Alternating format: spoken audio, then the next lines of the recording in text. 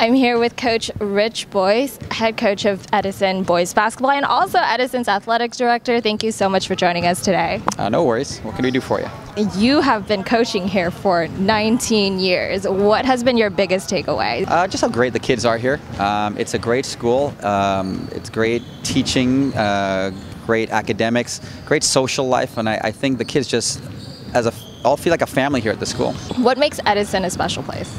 I think the people, um, from the everybody who works here, from the cafeteria people to the maintenance, to the coaches, the teachers, we all get along. We all support each other, and like I said, it's one big fam family that has about 2,400 people in it.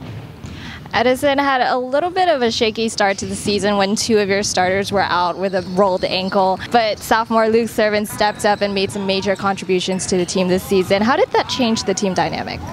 Well, not just Luke. Um, Bradley Luna is a sophomore, Jackie Kwok a sophomore, uh, Connor Collins a sophomore. They've, they've all played well.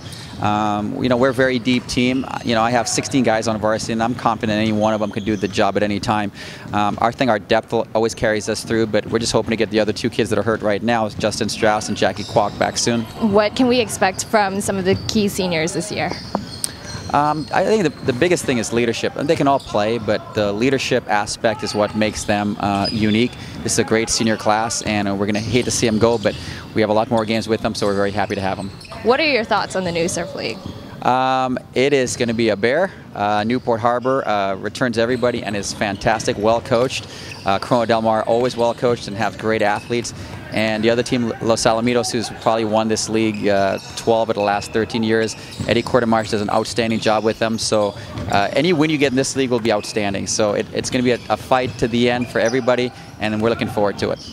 Thank you so much for joining us, and we wish you the best of luck. Thank you very much.